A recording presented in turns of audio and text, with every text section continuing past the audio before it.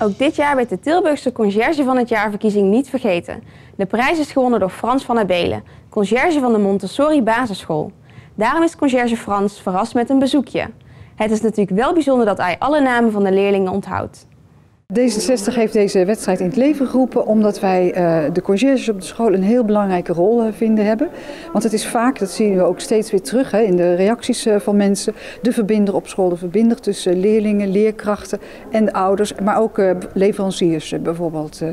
als je zo'n conciërge in school hebt die zo'n spil is, dan betekent dat voor de leerkrachten dat die zich kunnen concentreren op hun kerntaak en dat is lesgeven en werken aan de ontwikkeling van de kinderen op school. In afwachting van hun favoriete conciërge stonden de kinderen van basisschool De Elze buiten om hem een warm onthaal te geven.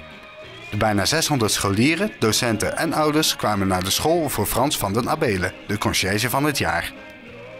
Uh, nou, het is een hele leuke gewaarwording uh, ja, en heel erg verrast. Frans zelf was erg blij dat de horde juichende kinderen op hem stonden te wachten om de mooie prijs te overhandigen. En het geheim van de beste conciërge? Ik doe gewoon mijn best. Meer kun je niet doen. Frans is niet alleen de beste conciërge omdat hij zo handig is, maar ook omdat hij erg lief en zorgzaam is voor de kinderen. Ja, ik kan ook niet anders uh, concluderen dan dat Frans van Abelen hier van de basisschool De Els wel zo'n beetje de allerliefste conciërge van de hele wereld is. Zoals het team zelf aangaf.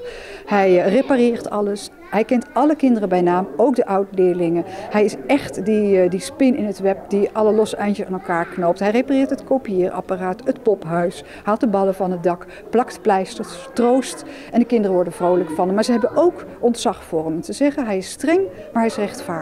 En daarom wordt hij zo enorm gewaardeerd.